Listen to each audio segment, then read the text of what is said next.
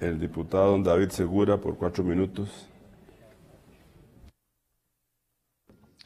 Muchas gracias, señor presidente. Estimados costarricenses, de verdad que es repugnante saber la red de corrupción que se orquestó en la Caja Costarricense del Seguro Social y que utilizó la pandemia como una excusa para hacer fiesta con los recursos públicos de todos los costarricenses.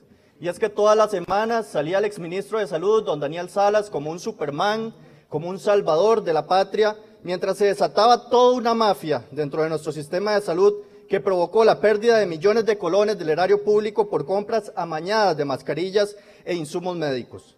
Durante más de dos años el gobierno PAC no, nos tuvo encerrados, nos, nos tuvo también aterrados con un montón de restricciones porque era justamente lo que ocupaban para seguir haciendo compras millonarias urgentes de mascarillas y de todo lo que se les ocurría, fuera de calidad o no, tuviera un precio racional o no, con una empresa de, jardinería o hasta con una chatarrera.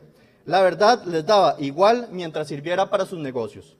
Convenientemente, como indica el informe de investigación legislativa que estamos discutiendo, eliminaron el requisito de contar con un registro sanitario para la venta de insumos médicos como lo fueron los guantes y las mascarillas, lo que provocó, entre otras consecuencias, que se tratara de comercializar productos que no eran de uso médico, compañeros, poniendo en riesgo al personal de la caja y aceptando cualquier proveedor que dijera que contaba con los insumos.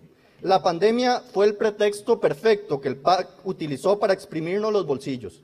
Fue totalmente un saqueo, con la, con la complacencia, digo más, con la complacencia de grandes medios de comunicación y de mucha gente que aplaudía las medidas y el manejo que el gobierno hacía de la pandemia.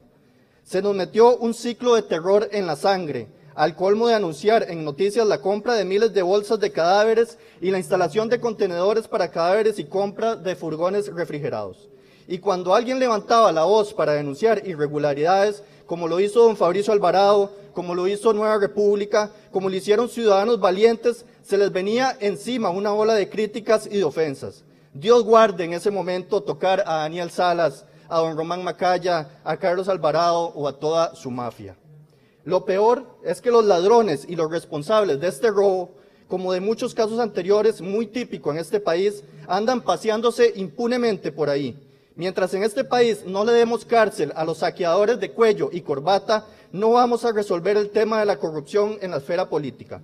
Porque pareciera, y es lo que está percibiendo el pueblo costarricense, que la administración de justicia de este país se le aplica implacable solo a los pobres.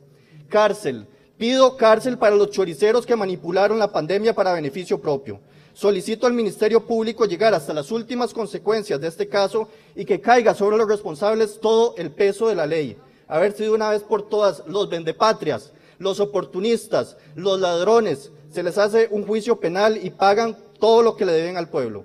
No basta con el juicio político y el ciudadano que hacemos aquí en la Asamblea Legislativa. Pongámosles nombre y rostro a la corrupción de este país pongámosle, pongamos a toda esa gente bajo las reglas.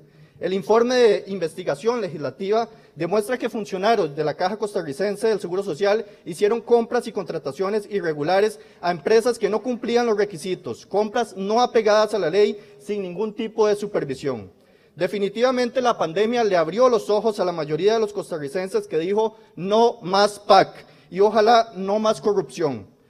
Cerremos fila, ese es mi llamado compañeros, contra los saqueadores y los ladrones. Cárcel y que paguen lo que deben. Muchas gracias.